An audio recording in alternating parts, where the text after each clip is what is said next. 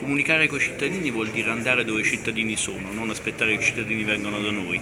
I cittadini sono su Facebook, i cittadini sono sui social, i cittadini sono su Twitter ed è lì che la pubblica amministrazione deve andarli a trovare con la sua comunicazione.